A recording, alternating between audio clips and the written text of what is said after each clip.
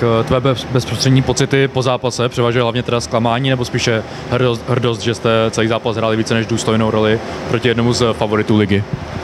Tak o nějakou důstojnost bych řekl, že nám ani moc nejde, my potřebujeme body.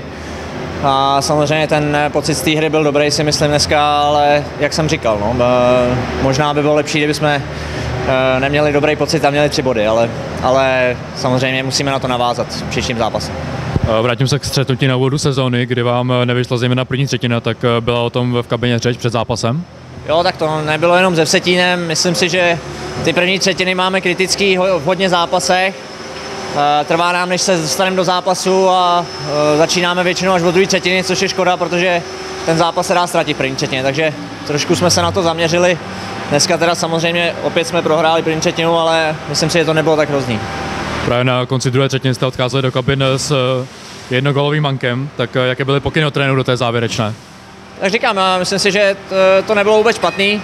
A pokyny byly eh, pokračovat ve stejné hře a doufali jsme, že nám tam něco spadne. Bohužel jsme dostali brzo třetí gól a, a pak se to těžko dohánělo.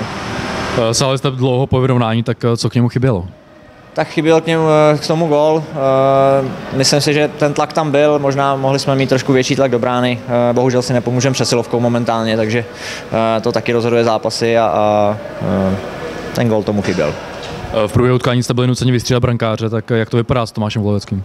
Tak popravdě nevím, eh, myslím si, že měl eh, nějaký tříslo nebo co, co, co říkal v kabině a samozřejmě je to nepříjemný, ale, ale nastoupil Roman, který, který to zvládnul výborně a, a dobře pro něj, protože si myslím, že to taky potřeboval. Mám pocit, že vás právě v několika případech podržel, tak eh, souhlasíš s tím tím? Jo, těžká situace pro něj, dlouho nechytal a, a eh, jsme rádi, že se dostal do brány a že, že nás podržel.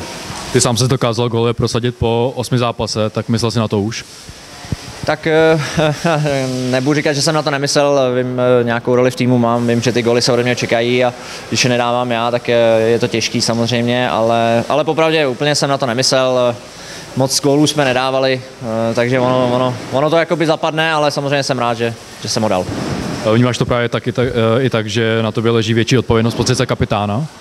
Tak nevím, jestli z pozice kapitána, ale samozřejmě jsem ofenzivní hráč, eh, jak jsem říkal, tak nějak vím, proč tady jsem a, a my starší ofenzivní hráči bychom to měli táhnout a eh, já doufám, že se to zlepší. Hráli jste teď z celky, co se drží na vrcholu tabulky, tak byla tam znát větší nervozita v kabině? A tak nemyslím si, my paradoxně možná s těma čtvelkama, co se hrajou nahoře, hrajeme lepší hokej, ale dostáváme zbytečně moc gólů, i když dneska samozřejmě jsme dostali tři, ale my nemůžeme koukat, jestli hrajeme s prvním, s druhým nebo s desátým, my prostě potřebujeme sbírat body a, a eh, dneska si myslím, že to nebyl špatný výkon, ač eh, prostě jsme nebyli odměněni těma bodama. Eh, Bude jste právě spíš sbírali s těma tabulkovými sousedy vašimi, tak jsou to o to důležitý zápasy, nebo v tom nevidíš rozdíl? Tak určitě, když ty soupeři jsou kolem vás, tak to jsou vždycky zápasy o 6 bodů a, a samozřejmě jsme rádi, že jsme získávali ty body, ale my, my potřebujeme získávat body i s těma, co jsou, co jsou nahoře v tabulce, nejenom ty, co jsou pod náma, kterých moc není a co jsou kolem nás. Eh, My před sezónou jsme spolu mluvili o tvém zdravotním stavu, tak, eh, tak se teď nemohu zep- nezeptat, eh, jak se cítíš po první odehrané části? Jo, tak cítím se dobře, samozřejmě byl tam nějaká, nějaká kondice chybí, což teď se pokusíme dohnat v pauze a, a pro mě je důležité, že ta noha nebolí nebo je stabilizovaná, není to horší, takže, takže doufám, že teď, až bude pauza, potrénujeme a, a bude to jenom lepší.